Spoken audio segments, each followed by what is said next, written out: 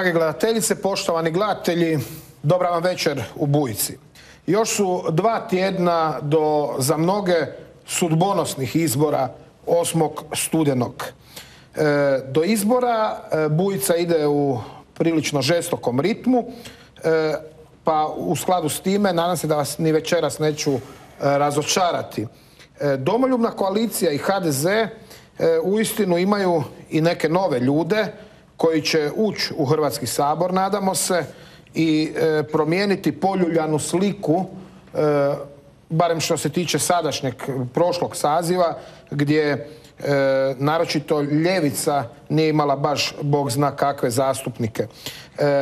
S nama u studiju Bujice je Stevo Culej Stiv, kandidat domoljubne koalicije za Hrvatski državni sabor, osmi na listi u petoj izbornoj jedinici, kandidat HDZ-a i favorit hrvatskih branitelja. Inače do predsjednik udruge specijalne policije i predsjednik udruge za Vukovarsko-srijemsku županiju.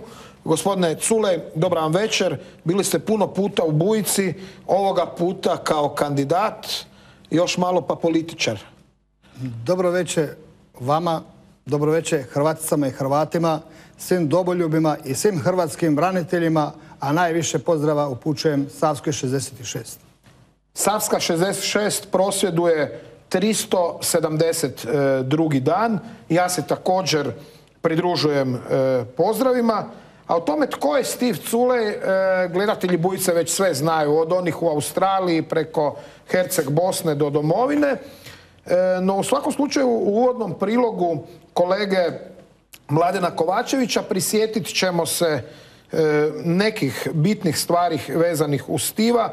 Moglo bi se napraviti deset priloga, za to naravno nismo imali vremena. E, naš Mladen Kovačević bio je u Jarmini, ponosnom e, slavonskom selu između Vinkovaca i Vukovara, selu koje su naselili moji Zagorci, uključujući Stiva, koji su postali Slavonci, a naravno da srpska čizma u Jarminu stala nije. No ajmo sad pogledati prilog o Stivu Culeju kojeg je na izborima kao i cijelu domoljubnu koaliciju podržao ove subote i legendarni hrvatski general Mladen Markač.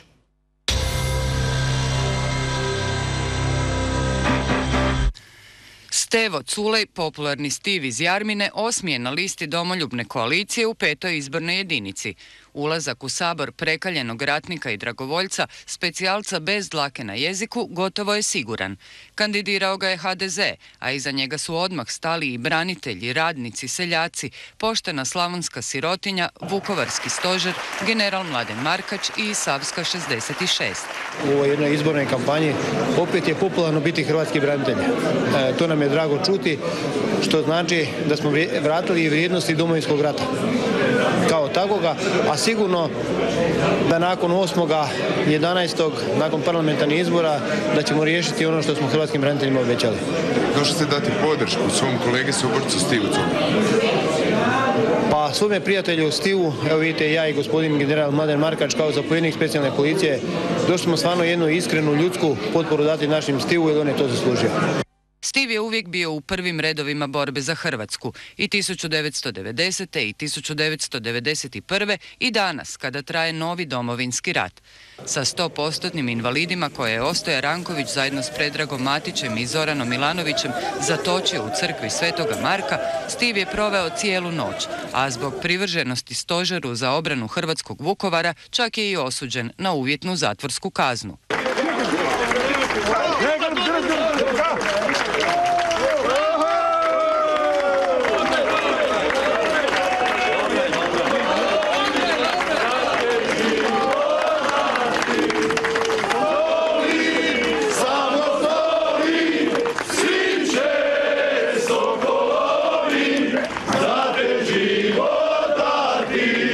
Omraženi Ostoja Ranković od Stiva Culeja bježi ko vrag od Tamjana.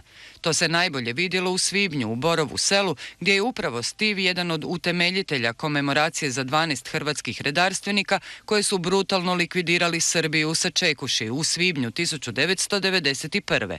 Jedan od ubijenih je i Stivov brat Josip. Zbog njih i zbog naše Hrvatske i zbog naše budućnosti, zbog naše djece mi moramo nastaviti tim putem da bi nas generacije pamtile po dobru, a ne po svemu što nas je zadesilo u ovo prošlo vrijeme. Na jeziku je Stiv Culej Britak, isto kao što je bio Britak na okidaču u obrani Slavonije. Zbog oštrih govora, koje je odbio cenzurirati, Culeju su čak zabranili nastupe na komemoracijama u Borovu selu. Zbog toga je milicija Ostoje Rankovića u Borovo selo dolazila gotovo poskrivečki i organizirala paralelni protokol. Ne znam što je za vas tu neobično. Naime, Recimo to što imamo dva protokola u jednoj državi. nemam pojma ja za nikakva dva protokola. Meni je samo jasno da postoji protokol organizatora, to je Ministarstvo unutarnjih poslova. Biste li napravili ustupak pa se priključili drugoj koloniji, drugome protokolu? Ja nemam namjeru na istom događaju biti devet puta u toku jednog dana. Doživjeli smo ono što je logično. Bile su nas i dvije grupe kad se je ratovalo, oni i mi. Pa i sad smo podijeljeni. I to je meni sasvim logičan ishod svega onog što se događa. Hoćete li pričekati kolonu? Ne znam o kojoj koloni govorite. U kolonu braniteljskih e, udruga koja će tek stići, znate i sami s mjesta Ja vam mogu pokazati poziv, protokol i sve. Komentiram da je to namjerno isprovocirano od strane aktualne vlasti. Ne ove godine, to je krenulo još prošle godine. Još prošle godine su izbacili pripadnici, pripadnike specijalne policije, gardijskih brigada i hrvatskih branitelja iz svojega protokola na način da su nam bitno otklonili način na koji smo mi obilježavali, obilježavali taj dan od 2005. godine. Cenzura za Stiva trajala je sve do pobjede hrvatske predsjednice Kolinde Grabar-Kitarović. Ove je godine i ona došla u Borovo selo, a Stiv je nakon dugo vremena ponovo slobodno govorio, za razliku od Ostoje Rankovića kojemu su Vukovarci okrenuli leđa. Molio bih Ranka Ostojića, vlade Republike Hrvatske ministra unutarnjih poslova da se. Krenite u leđa.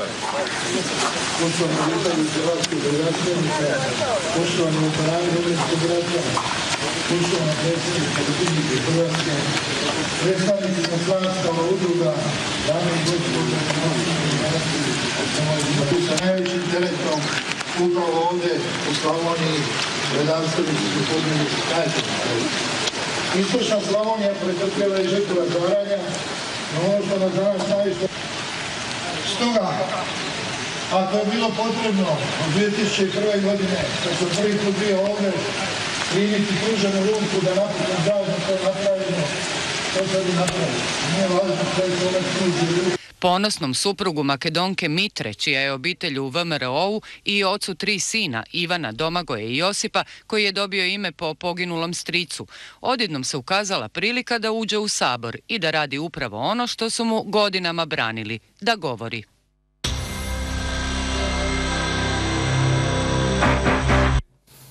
Na početku, evo ja se ispričavam e, gledateljima, e, tamo je u titlovima u prilogu pisalo ispod e, zloglasnog ministra e, Ranko Ostojić. To je bilo prije nego što smo mu dali nadimak Ostoje Ranković, tako da se evo ispričavam gledateljima. E, gospodine Cule, rekli ste mi kad smo dogovarali emisiju i vaše gostovanje jednu zapravo duhovitu stvar. Do sad su vas kažnjavali zato što ste govorili zbog vaše slobode i svega ostaloga, a sad kaže, kažete sad ako uđete u sabor će vas plaćati da govorite. Sve se mijenja. Sve se mijenja, pa tako oni, a i oni koji dolaze. Ali ja prije nego što je emisija sama krene, ja sam tebi obećao da ću te iznenaditi, iznenadit ću sve gledatelje. E, svaki čovjek, svaki iz bilo kraja odakle dolazi, on mora znati odakle potiče da bi znao kuda ide i na koji način će doći na to mjesto. Ja sam Hrvat, ja sam katolik, ja sam Slavonac, ja sam Zagorac.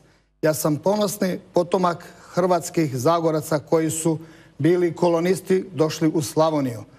Moji preci su preko Sljemena iz Donje Bistre dolazili na dolac na pijacu sa mamine strane, a sa očeve strane od Zlatara i iz Repna prezime Cula je poznato.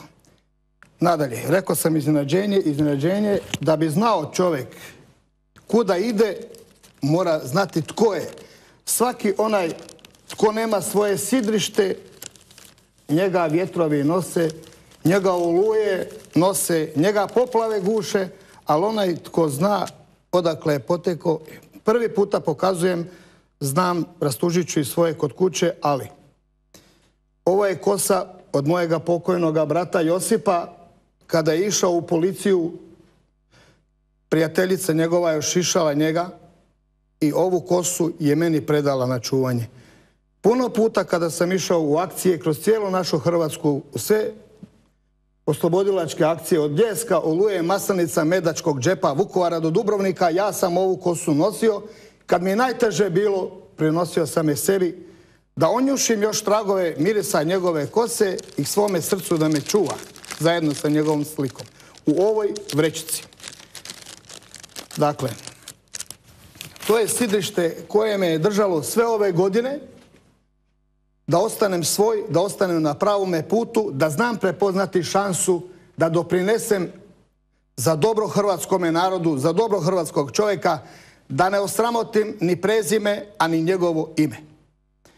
Kao hrvatskoga branitelja, kao hrvatske žrtve, kao hrvatskoga čovjeka. Isto tako, rekao sam, ja ne živim sebi, niti stremim za nekim osobnim uspjehom. Ja sam proizvod svega onoga što je hrvatskoga čovjeka zadesilo. Hrvatskoga čovjeka je zadesila nesreća, zlo, rijetko dobro kroz cijelu povijest. Dobro mi je povijest znana jer sve najbolje što sam mogao u životu dobiti dao mi je moj pokojni, pošteni otac, a drugi otac je bio pokojni ministar Vekić koji mi je usadio vjeru i u pravdu i u borbu i u istinu koji je imao veliki utjecaj na mene. To znamo, e, bili ste, e, čuli smo e, pokojnog Ivana Vekića u prilogu, bili ste uvijek na istoj strani, na kraju je i on doživio jednu veliku nepravdu, a to je da aktualno ministarstvo, dakle Ostoja Ranković i njegova kamarila nisu nikog poslali na njegov sprovod. Nije bilo ni vijenca ministarstva unutarnjih poslova. Je li to sramota da ratnom ministru, čovjeku koji je svima vama bio otac, a evo vi ste i sad to rekli, e, da, da se tako ponesu prema njemu. Što nam to govori? Kako ste vi to doživjeli? E, to je bilo veoma stresno kako za mene, kako za njegovu suprugu, kako za sve hrvatske istinske čestite branitelje e, koji su došli na njegovu sahranu. Pokušali su ga pokopati kao neznanoga anonimusa, kao ne, nebitnoga čovjeka u hrvatskoj povijesti, kao da nije zavrijedio ni da mu se ime spomene. A tko ga je pokušao tako, na taj način, izbrisati iz naših sjećanja, iz hrvatske povijesti? Onaj koje je on nazivao ne vukovima, ni nekim drugim imenima, jer to su hrabre životinje, a on je njih nazivao hijenama, jer oni su oportunističke hijene koje su došle na Hrvatsku nakon svih bitaka, nakon sve domovinskog rata, kao i nakon prošlog rata gdje su oni došli i iskoristili su Hrvatsku državu za svoju osobnu korist, a na našu nesreću. I crpili su je i crpili bi je do kraja. Gospodine Cule, e, kako to da idete u Sabor? E, e, odlučili ste se kandidirati, ali dajte nam sad recite svi očekuju neke velike političke razgovore s nekakvim e, turbo pametnim kandidatima poput Zorana Milanovića. A ja s vama evo imam jedan ljudski razgovor jer to moju publiku, naš narod zanima. E, čime se vi bavite kad e, evo ne idete u Vukovar, kad ne idete u Borovo selo, kad niste na Markovu trgu ili u Savskoj? Tko je Steve Culej? Čime se vi bavite?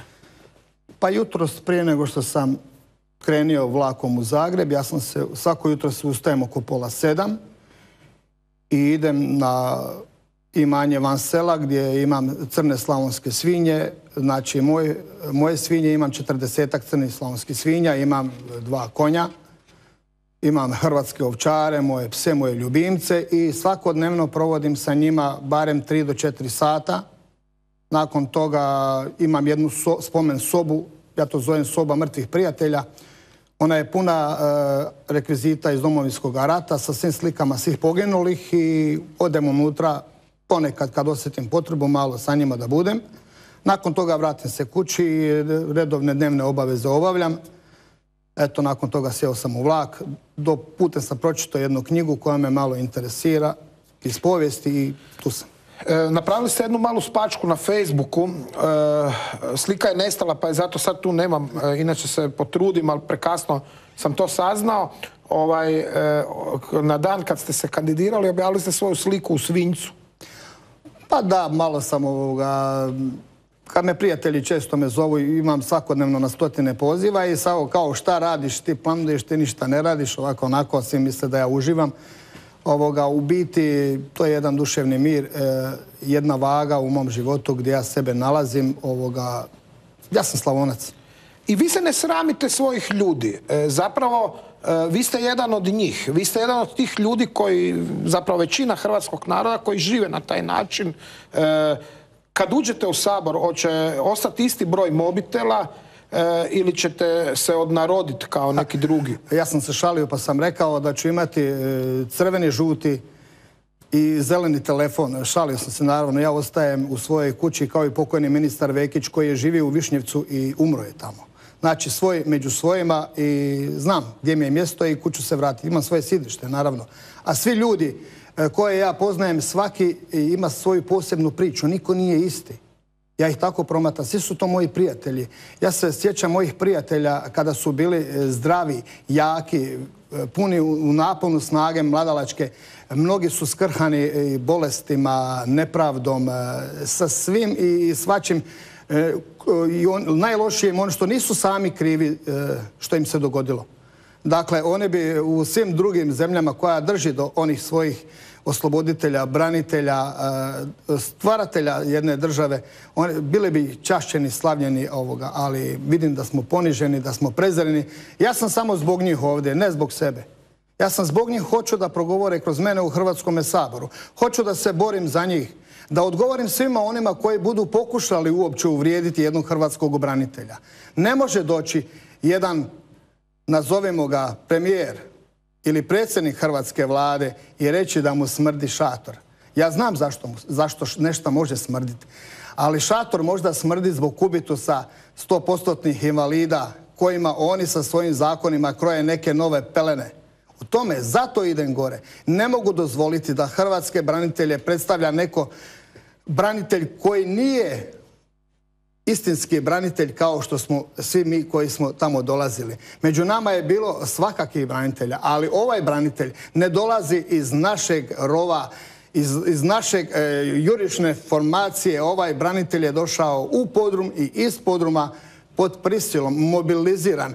On se nikada nije, e, nije osjetio poziv u svome srcu da on poskoči, da uhvati to oružje. Da... Govorite o kome? Ma naravno, govorimo o Fredu o Fredu Judi. E, taj čovjek... Fredu Judi. Fredu Juda, tako je.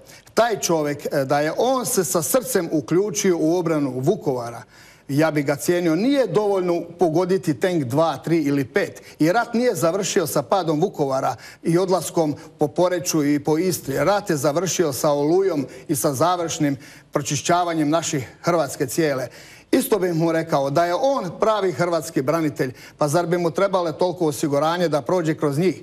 Da je on istinski branitelj pa spustio bi se dole među nas i osjetio svakog branitelja kao svoga brata, kao svog prijatelja, suborca, s prve crte. Ne, on je oportunista kao i svi oko njega, koji gleda samo sebe i samo svoj Interesantno, on je na listi e, kukuriku koalicije, e, onih što kažu da Hrvatska raste, biti ćete na dvije različite strane sad, zapravo ste uvijek bili.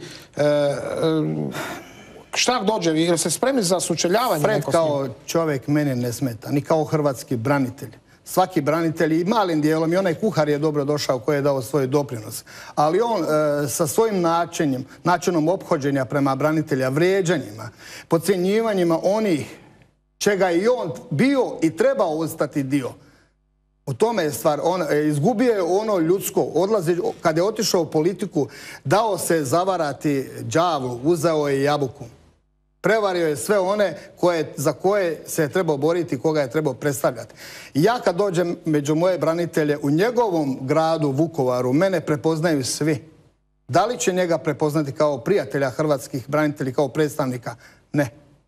On tamo nema šta tražiti. On može tamo dobiti glas samo od onih protiv kojih smo se borili i od Siniše Mihajlovića koji mu je prijatelj, za razliku od mojega Joe Šimunića koji je moj prijatelj i tvoj, naravno. E, interesantna i dobra najava za e, telefonski poziv prvi večeras koji imamo. E, na liniji u Vukovaru je Tomislav Josić, predsjednik stožera za obranu Hrvatskog Vukovara.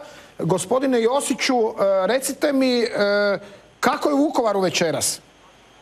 Dobro večer. Dobro večer. Pa, ugodno, ugodno vrijeme i čekamo, čekamo skoro izbore. E, evo, gospodin Culej vas je možda najavio na najbolji način. E, koga, koju će listu podržati stožer? Listu domoljubne koalicije sa e, Stivom Culejom ili listu kukuriku koalicije sa Predragom Peđom Fredom Matićem? Pa čujte, mislim da o tome nema, nema smisla razgovarati. Mi smo toliko puta rekli do sada da, da, da je ovo nenarodna vlast koju sada imamo na vlasti, prema tome mi sigurno nećemo njima dati glas, niti ćemo sugerirati bilo kome da njima da glas. Znači oni moraju se maknuti, maknuti vlast se mora promijeniti, a ja se nadam ono da će se i situacija u gradu Vukovaru promijeniti, da će se neke stvari, stvari riješiti konačno. E... Dok god su ovi na vlasti ne možemo, to, ne možemo ništa očekivati. E, recite nam, e, e, gospodine Josiću, kada ste čuli da se gospodin Cule kandidira, kako je bila vaša prva reakcija Evo, s obzirom i na to da je čovjek dobio osam mjeseci zatvora uvjetno na dvije godine, upravo radi, kako to tvrde ovi pri vlasti, sudjelovanja u onim postupcima oko skidanja i razbijanja ploča i tako dalje i tako dalje. Čujte, ja bih volio da na puno više lista ima puno više takvih ljudi kao što je Steve i ja se nadam da će oni biti glasni tamo i da neće dozvoliti da se vrijeđa domovinski rat i da se priča protiv, protiv i branitelja i protiv hrvatskog naroda ja se nadam da će, da će se oni boriti protiv toga. Samo kažem, volio bih da ih još više ima takvih kao oni. E, interesantno je da evo i gospođa Jadranka Kosor E, ide na izbore u izbornoj jedinici koju pokriva Vukovar. E, ona je počanska građanka grada Vukovara. E, bilo je nekih inicijativa da ona to prestane biti. Što je s tim inicijativama? Pa ja mislim da je to još uvijek u proceduri nekako, znači gradsko vijeće, ja mislim da je razgovaralo na jednoj sjednici da joj se to ukine, međutim to izgleda ne ide tako jednostavno, ali ja vjerujem da će se to riješiti jer meni je žao što u, datim trenucima kada je trebalo za Vukovar nešto napraviti, posebno u onome trenutku kada je trebalo potpisati one peticije da se u, da se u Saboru uopće raspada o toj problematici u Vukovaru, ona nije htjela to potpisati, a kao, kao počasna građanka mi smatramo da je ona prva trebala to da napravi. Vi dakle ostajete pri svom zahtjevu da se oduzme Jadranki Kosor mjesto počasne građanke? Mi smo to davnih dana tražili, tražili i, na, i, insistirali kod gradskog vijeća, naravno, znači svatko ko, ko, ko bude protiv, protiv hrvatskog naroda u Vukovaru, mi ćemo biti protiv, protiv njih. E, interesantno, evo baš kad spominjemo dotičnu gospođu, e, ona je sad na listi sa kontroverznim bivšim predsjednikom Ivom Josipovićem. E, kako to da on, evo on je dolazio sa Tadićem tamo na Ovčaru, pa šta onda nije dolazila u Vukovar s njima, nego sad traži glas od vas? Pa dobro, ja mislim da je ona jednostavno prinuđena bila da sa njim nekako koalira. I gospodinu Josipović smo mi davni dana rekli što mislimo, on je bivši predsjednik i mislim da nema razloga uopće o njemu da raspravljamo. E, Predrag Fred Matić je e, evo jedan od onih koji jesu bili u Vukovaru. Doduše Stiv Cule kaže da su iz podruma poslani na prvu liniju. E, kako gledate na njegovu listu? Pa dobro, to je lista zna se koja, tako da mislim, mi sigurno nećemo biti za nju, niti ćemo nikoga sugerirati. To je SDP, mi znamo ko, što u gradu Vukovaru ko glasa za njih, a vjerojatno će tako biti na nivou županije. Znači oni prikupljaju potpise samo od onih koji su u, na nas napadali. Znači od branitelja ne vjerujem da će baš neko nešto puno, nešto puno dobiti, dobiti glasova. Gospodine Josiću, hvala vam lijepa na javljanju u Bujicu. Hvala i vama i pozdrav, pozdrav, pozdrav e, vašem gostu, a i svim gledateljima u cijeloj Hrvatskoj. Hvala lijepa. E, evo, kratko javljanje iz Vukovara. Imate čvrstu potporu e, Stožera za obranu Hrvatskog Vukovara, a gospodin Josić kaže da će za SDP glasati oni koji su pucali po Hrvatskoj. Pa svako sebe prepoznaje gdje pripada. Tako je hrvatski branitelji znaju gdje im je mjesto u domoljubnoj koaliciji sa onima e, koji su prvi krenuli u domovinski rat e, po, u čijim idejima, pod čijim zapovjedima. Naravno, u HDZ-u je bilo preverenja, bilo je svega, ja tu uvijek zovem e, tri HDZ-a, HDZ predsjednika Franje Tuđmana i mog pokojnog prijatelja ministra Vekića. Postoje HDZ Manolića, Perkovića i drugih koji su isusnuti kroz to vrijeme. Postoje jedno loše vrijeme u HDZ-u kada su u, tu, u HDZ ušli koji nisu bili na prvim crtama, koji nisu se borili ovoga za oslobođenje Hrvatske nego samo za sebe. E, tu katarzu HDZ je doživio i preživio, pročistio svoje redove, uneo je svježu krv kroz hrvatske branitelji koji su na listi. Tu je i Anošić iz Osijeka, specijalac isto ovoga, sa 17 godina je ušao u domovinski rat. Ovoga, ima nas jako puno u domoljubnoj koaliciji koji znamo zašto smo u domoljubnoj koaliciji. Samo zato što je naravno domoljubna i zna se koje vodi i kud je vodi. Kaže, kažu ljudi e, da ste bliski sa predsjednikom HDZ-a Tomislavom Karamarkom. E, kakav je vaš odnos i što mislite o Karamarku? Karamarko kao e, čovjek, ja sam ga upoznao evo to prvi puta govorim sada, ima nekih 14-15 e, godina sigurno. U Vinkovcima ovoga, prilikom e, jedne obljetnice Borova sela popričali smo dvije riječi i to je bilo sve. Naravno, nakon e, godine su išle, mijenjali su se, mi smo se sretali na tim obljetnicama i sve do onog trenutka dok on nije postao ministar.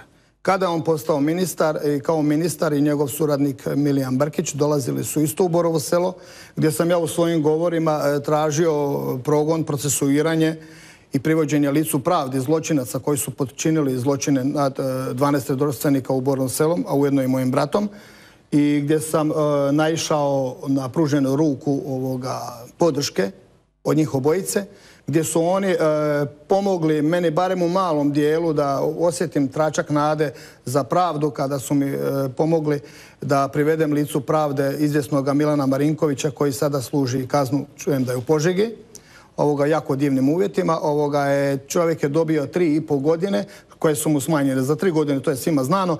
Ovoga, ali ja sam doživio jednu, jedan duševni mir, onako moralnu satisfakciju i sve.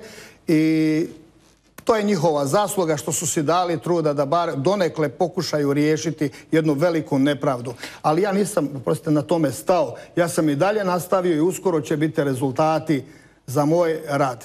I onda ću objaviti kom je pomogao. Ok, nadam se da će to imati Bujica prilike objaviti, ali recite mi, e, kako ste onda doživjeli, evo, e, s jedne strane imamo Karamarka koji e, pokazuje volju za procesuiranje zločinaca, policija napravi svoje, ali onda naravno državno odjetništvo i, i sud opet naprave nešto loše, ali nema veze, e, bar za sad nema veze. E, s treće pak strane imamo e, Ostoju Rankovića koji vam je branio govoriti zajedno sa Peđom Matićem u Borovu selu. Ovako da ne bi nešto preskočio. Što se tiče ovoga gospodina Karamarka Tomislava, to je jedan ugodan, divan gospodin, miran, tih, čak bi rekao previše povučen, ali čovjek sigurno u sebe stabilan čovjek, jedan koji smireno svakoj situaciji prilazi, i koji proučava. Tu nema nasilnosti, bahatosti i nečega.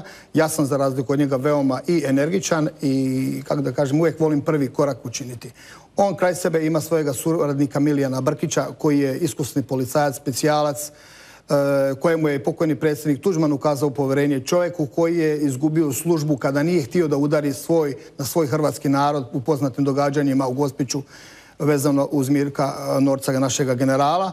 E, dakle, sa takvim ljudima vrijedi ići jer oni znaju isto kuda idu i zašto idu. I oni su zadnja nada e, i HDZ-u i hrvatskome čovjeku i svima nama jer su provjereni do sada u svim svojim radnjama. idemo sad na reklame, dragi gledatelji.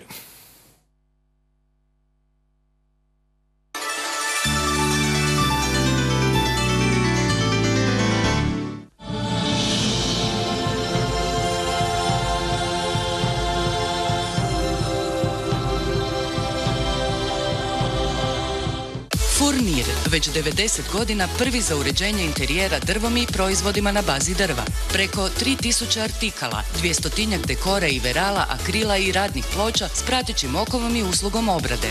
Parket, 50 različitih profila letvica i lajsni, kao i mnogo drugih sitnica za kvalitetno uređenje vašeg doma. U novom izdanju, na staroj adresi, uz mjesečne akcije i popuste i dalje unosi toplinu u vaš dom. Furnir, vaš kućni prijatelj. Lana Karlovačka tiskara najveći je proizvođač tiskane komercijalne kartonske ambalaže, a uz to je i klasična tiskara za proizvodnju brojnih grafičkih proizvoda. Kutije i upute za farmaceutsku industriju, kutije za prehrambenu industriju, kutije iz valovitog kartona, samo su dio asortimana čiju kvalitetu potvrđuju naši klijenti, renomirane tvrtke Hrvatskog gospodarskog života. Suvremena tiskara i moderna tvornica visoko kvalitetne kartonske ambalaže. Lana Karlovačka tiskara DD.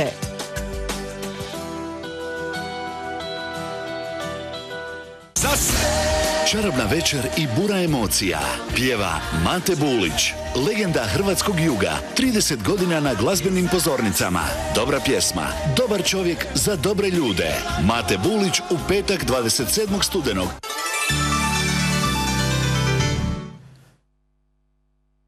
Eto nas natrag u studiju Bujice, gost je Steve Culej. E, gospodine Culej, evo danas e, dobre vijesti iz Poljske. E, Zakon i pravda stranka konzervativnog Jaroslava Kačinskog, stranka vrlo slična HDZ-u, e, pobjedila je, osvojila je 39%, Ljevica 23%, oni su dobili zapravo kada se preračuna u mandate u poljskom parlamentu apsolutnu većinu. E, mislite da je mogući u Hrvatskoj takav uspjeh? 39, 23, dobro, postoje neke ankete na Radmanoviziji, RTL televiziji koje su drugčije, ali naš narod ne vjeruje anketama. Hm, naš narod je čudan narod. Ovoga. U cijelom je svijetu komunizam je nestao osim na Kubi i kod nas. I u Koreji. Naravno, sjever. E, ja ne mogu vjerovati e, da su ljudi, da ljudi se još sjećaju onoga tiranina Tite koji je kažnjavao hrvatski narod kroz svo vrijeme svojega, svoje vlasti. Ja ne mogu vjerovati da oni vjeruju nasljednicima onih koji su svoju subraću, svoje Hrvate po Jazovkama, po Blajburgu tukli, ubijali, masakrirali, uništavali svoj narod. Kakav ti možeš, moraš biti karakter i čovjek da ti svojemu ideš nanositi zlo. I sada taj isti naš hrvatski narod daje njihovoj zlatnoj mladeži koja je odrasla na lovorikama pobjede njihovih otaca iz prošlosti, koji su i ovaj Zagreb napučili, došavši iz svih krajeva bivše Jugoslavije, i iz Južne Srbije i ne znam odakle i postali su ugledni Zagrebčani zamjenivši one starosjedioce koje su potugli od Blajburga pa dokle su ih potjerali do Makedonije dole. Moram reći, nije mi jasno kako hrvatski čovjek može vjerovati nekome takvome. A ima svoje ljude, ljude iz naroda, iz svojega kraja kojega poznaje komu je otac, komu je majka, kakav je karakter, kojega gleda svaki dan pored sebe. Ovo je, ovo je zapravo sjajna najava. Ja sam, dragi gledatelji, htio e, najavu koja sad slijedi napraviti na kraju emisije, ali evo ja ću zamoliti sad režiju da pusti plakat. E, da, da vidimo zapravo što će se to dogoditi u Lisinskom ove subote. E, u subotu, dakle 31.10. E, u 10 sati Hrvatsko nacionalno etičko sudište javno će objaviti osude za Josipa Broza Tita i njegove sljedbenike predvođene Zoranom Milanovićem.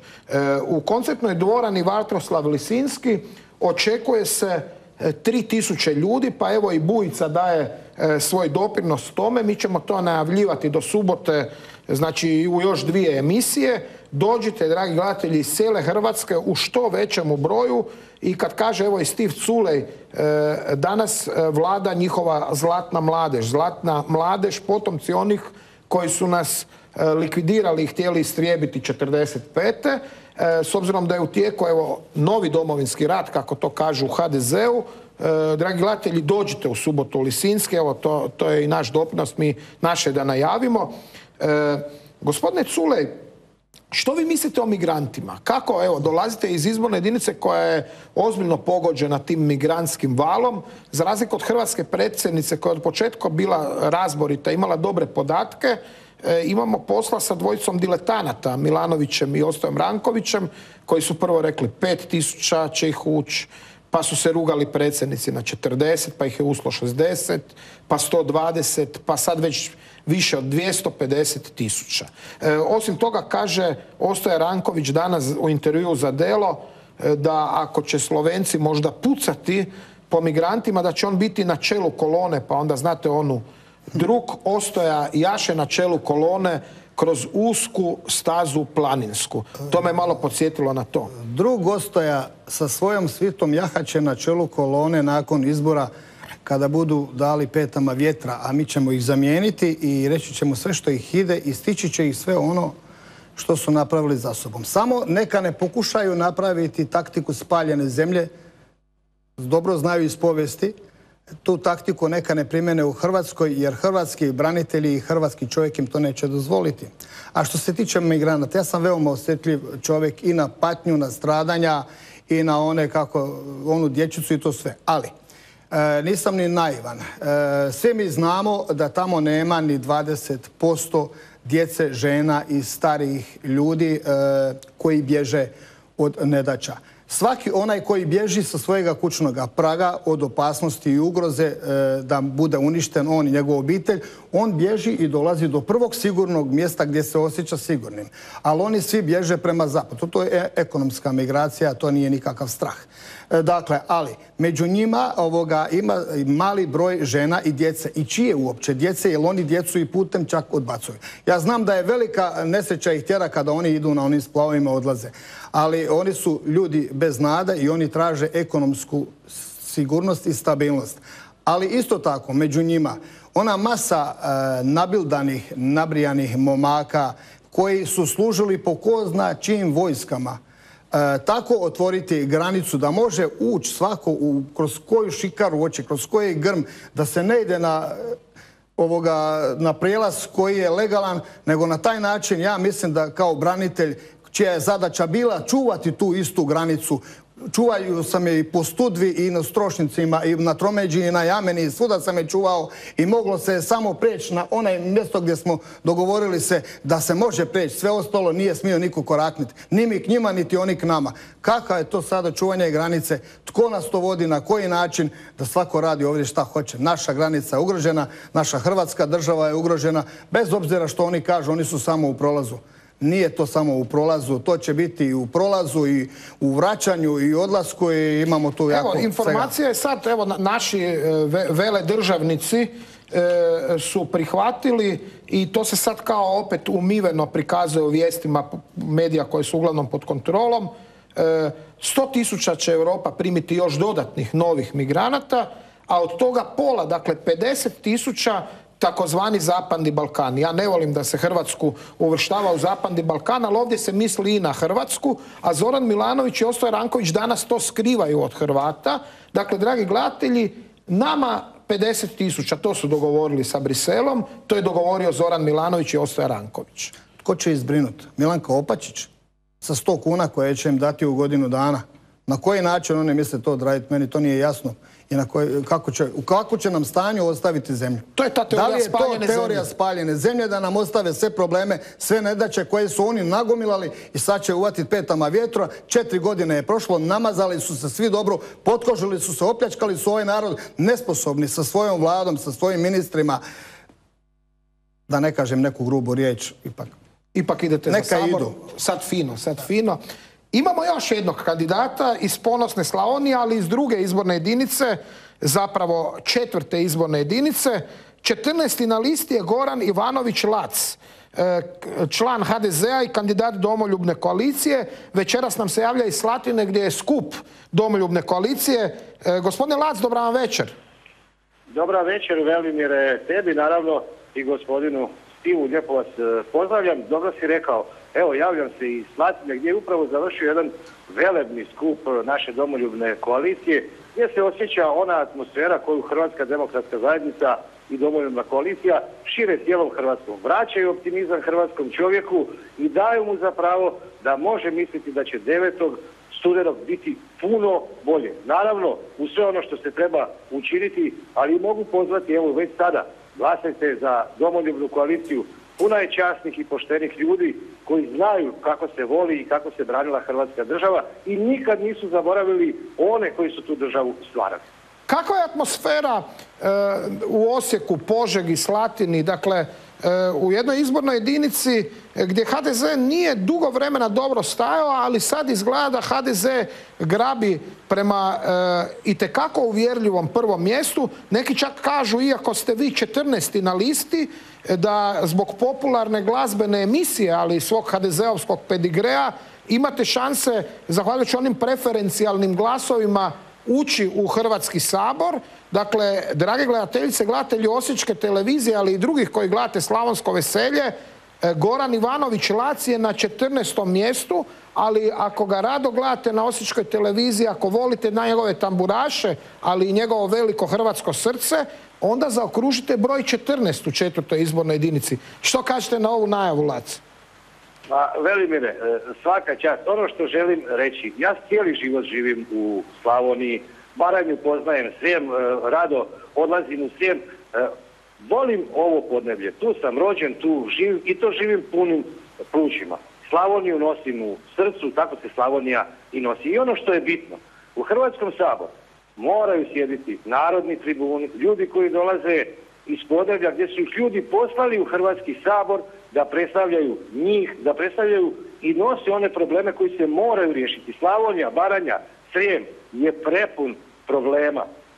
To je bila zemlja koja je bila obećana. To je zemlja dana od Boga. To je bila zemlja u koju se dolazilo da bi se ne lagodno živjelo, da bi se živjelo od svog rada. A danas iz te Slavonije, Baranje i Srijema tisuće i tisuće mladih ljudi odlazi da bi potražilo taj kruh koji je ovdje uvijek bio zalog, bio zaglavni kamen, moraju ga potražiti u Irskoj, Švedskoj, Danskoj, Švicarskoj ili u nekim drugim zemljama. To je ono što je zadatak svakog ko je na listi, pogotovo na listi domoljubne koalicije, da mora znati i prepoznati probleme malog čovjeka, mora početi rješavati probleme malog čovjeka. Da se u Slavoniji i Baranji loše živi, dokaz je evo i donešen proračun za Osječko-Baranjsku županiju za 2016. godinu gdje je Osječko-Baranjska županija oročila 60 miliona kuna. Nije ih upumpala u gospodarstvo, u poljoprivredu, što je temelj života ovdje u Slavoniji Baranji, nego ih je oročila da bi ih trošila možda 2016. godine, jer 2017. godine su lokalni izbori. To je pogrešna politika, to je politika koja nas je od zemlje blagostanja dovela da smo na koljenima. To se mora promijeniti, a jedino to može promijeniti naravno domoljubna koalicija na čelu sa Hrvatskom demokratskom zajednicom. Gospodine Lac, hvala vam lijepa na javljanju u Bujicu. Evo, e, drage gledateljice, poštovani gledatelji iz Slavonskog veselja i Bujice, Lac, 14. mjesto, četvrta izborna jedinica, olovka, papir i zaokružiš.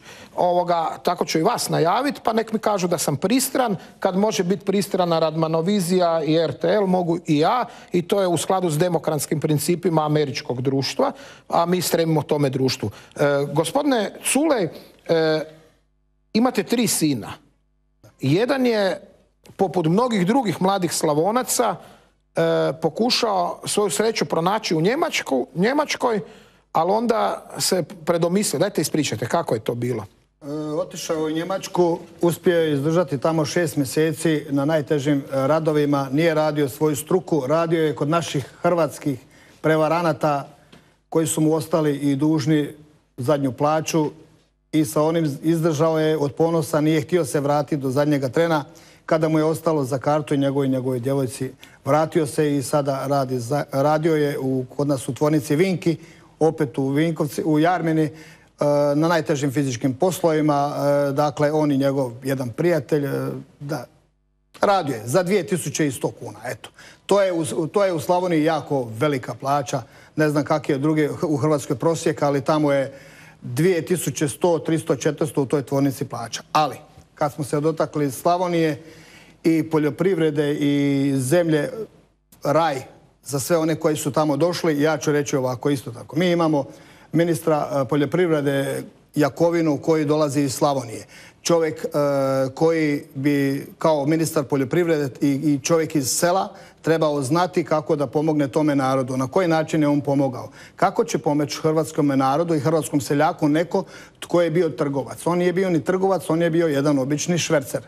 Ja zovem tako one ljude koji su kupili određeni broj mišelovki u Bosni na koridoru i ne znam gdje već, na crnim tržištima, prenose vamo i prodaju. Jednu mišelovku kupe na račun i onda ovi deset sa strane proture. Sam malo, sam malo. E, Jakovina šverco Mišalov, e, svi trgovci poljoprivrednih proizvoda dakle odlaze u nama susjedne u, u, Bosnu gdje kupuju proizvode i rasturaju ih normalno. Jedan takav isti ministar nije u stanju doći u selo i vidjeti e, koliko u selu ima krava, koliko ima svinja, kuda ti ljudi da idu sa svojim proizvodima. Evo recimo ja ću reći ovako, u našem selu prije rata i sada poslije rata bilo je jako puno stočnog fonda. Rekom, svaka obitelj, obiteljsko domaćinstvo imalo je minimum bar dvije, tri e, suprasne krmače onda su oni te prasce dilali, kupovali e, djeci što im je trebalo, školovali i plaćali autobuse, vozačke karte i tako dalje. E, vozačke dozvole i sve ono što je trebalo. Dakle, nadopunjavali su si kućni budžet sa tim prascima što su išli po vašarima. On je sa svojim ukrupnjivanjem čemu napravio? Šta je napravio? Ukrupnili su posjede, dali su lokalnim tajkunima hrpu zemlje, kompletno, stočni fond su uništili, e, pogodovali su svim poljoprivrednicima kroz poticaje koji nisu morali poticaje pravdati e, sa količinom robe proizvedene na tim istim njivama, pa mi sada imamo e, seljake naše poljoprivrednika koji imaju po stotine hektara zemlje, bave se znači otac i sin, nikog više ne zapošljavaju, sto hektara ili 200 i više oni obrade, njih dvojica sa tim teškim strojevima, to da li predaju, ne predaju, ništa preko računa. Evo ispričat ću vam primjer. Do mene susjedno selo ovoga gdje živi jedan e, čovjek koji je za vrijeme rata bio u, na u srpskoj vojsci, čak proglašeni vojvoda i pomoćnik ministra u Sao Krajini, koji sada živi u Novom Sadu, dolazi kod svojega oca u to selo i u tom selu on zapošljava sve socijalne slučajeve koji dobivaju od Milanke Opačić sredstva kao socijalne slučajevi. Dakle, ti isti socijalni slučajevi rade na polovnim traktorima, Rusima, Fergusonima i ne znam kakvim drugim strojevima, obrađuju tu svoju zemlju koju su njemu dali u zakup, pod zakup na ime njegovog oca i on iz Novog Sada sa svojim ML-om i ostalim vozilima samo dolazi i dirigira šta će ovi raditi. Znači Četnički vojvoda u talu sa kada e? Kada on obradi zemlju posije i to sve, oni mu to obrade i odrade, bez vouchera, bez ičega, e onda dolazi i vrijeme žetve. Tada on dolazi ponovo iz Novog Sada, jako mi je dobra situacija, ga znam, i onda zamislite njegovo selo, na kraju sela je okretište, autobus dalje ne ide. On tamo instalira pokretnu vagu, ne fiksnu vagu, onu koja je ukopana, nego na e, pločama koja se iznivelira i tada seljaci sa svih strana dolaze kod njega i predaju svoje žito, jer ne moraju pravdati ovoga količine za koje su dobili poticaj od Ministarstva poljoprivrede. Dakle, oni to zračnim, onim vakum usisavačima preusisavaju u velike šlepere od 20 tona, naravno vaga, odvaga i to se preda, istih tren šleperi odlaze, novi prazni dolaze. E sada, e, kada ide isplata, kao i ove godine što je išla, isplata je taj dan, e, dakle pare na ruke, cash and carry, on dolazi sa ML-om, otvara torbu, aktovku i unutra su složene novčanice i onda kaže Peru Perić, oprosti Pero, moj prijatelj jedan, ali ima ime prezime, i on kaže ovako, tebi toliko si vagnio, toliko. Tu nema računa, tu nema žiga, tu nema I to sve omogućuje Jakovina i Milanka I I ja nazovem i prijavim taj slučaj i rekao, zadnji je trend da dođete, da uvatite pun kofer para. Upravo je u tijeku je podjela novaca. Nije došao, niko. Nitko nije došao. Nitko nije došao. Da sad vidimo, evo, pred kraj emisije, e, vidjet ćemo opet nešto, zadnji put sam vas rasveselio s onom reklamom za Air Srbiju. Sad ćemo vidjeti e, Zorane, Zorane, u izvedbi Rodoljuba Vulovića Rokija koji je to pjevao srpskim dragovoljcima da sad vidimo kako to zvuči u izvedbi Bujice.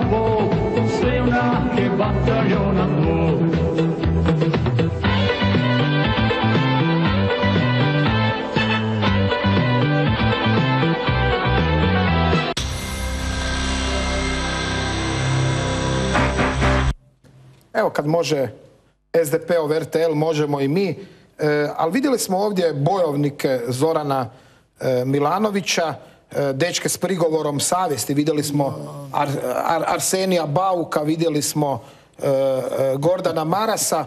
Što vi kažete na evo onaj prostački napad Gordana Marasa na legendarnog generala Damira Krstičevića? Evo, moram vas to pitati. Ja sam se malo nasmio. Kad pogledam ove njegove junake, ja se sjetio jedne poznate ovoga. Oni bi mogli svi statirati, učestvovati u prvim redovima u onome filmu koji bi trebao biti snimljen Bješte pete. Zna se nastavak. Ali to mi je palo na pamet. Kako Šta bješte? reći? Bješte pete. Zna se šta ide iza toga. Ali šta reći o njima? Koji je to profil ljudi? Odakle su oni došli? Što oni traže uopće ovdje? Zbog čega su oni? Kog oni predstavljaju? Za šta se oni bore? Koji su njihovi ideali? Kome se oni vraćaju kući? U svoje stanove? Ja se vraćam u svoje selo, među svoje ljude, gdje svaki dan kad izađeš, ti susjeda, ako ne pozdraviš, i kad mu ideš pored kuće, podigneš ruku, možda te gleda od nekale. Takav je kod nas običaj. A ovdje u gradu on se može sakriti u topitu masu, ne mora on nikoga pozdraviti. Će njega neko pozdraviti. U tome je razlika između nas, jako velika. Hrvatski branitelji zna se odakle su došli. Mi nismo ni čelavi, ni glavati brđani. Mi smo čisti hrvatski ljudi koji smo došli reći im dosta je bilo, uzeli ste ono što je naše. Mi hoćemo naše da nam se vrati. Vi ste svoje napravili šta ste mislili i više nećete jer vam to ne možemo dozvoliti. Ne zbog nas, nije nam puno ostalo, nego zbog onih koji dolaze iza nas. Nećete upropastiti njihovu sudbinu. Zbogom. Gospodine Culej, s time ćemo i završiti. Bilo je još pitanja, ali evo ja vam uistinu želim svu sreću na predstojećim izborima, želim vam uspjeh, želim vam evo od srca, zato sam vas i pozvao, e, da osvojite najviše glasova u petoj izbornoj jedinici. Hrvatice i Hrvati, glasajte za domoljubnu koaliciju. Tamo imate provjerene i čestite ljude i čestite hrvatske branitelje.